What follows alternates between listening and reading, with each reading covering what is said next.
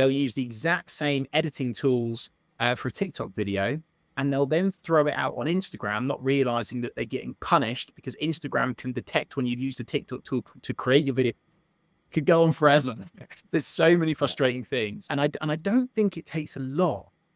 The truth is, I don't think it takes a lot for someone to just learn a little bit about social media to understand how to make a lot of progress faster, even regardless of of whether they engage with with a marketing agency or not. And so those are just a few things. There's a starting point there for people though when when you're just starting to get involved in some of the other platforms. And I've done this in the past, and I'm still in that. I'm still on that path. I'm still on that progress of.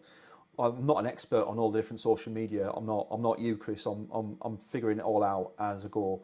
And so at the moment, hands on heart, I am doing exactly what you said. TikTok video, export it from CapCut, put it into Instagram, but also TikTok's my focus right now, not Instagram. I haven't, I'm not active on Instagram. I haven't gotten there with it yet. I want to have a presence there so that when I do turn it on, it's there. I'm gonna, I'm gonna nail your last point. TED conferences. I'm calling you out, calling you out. TED conferences. Yesterday, posting an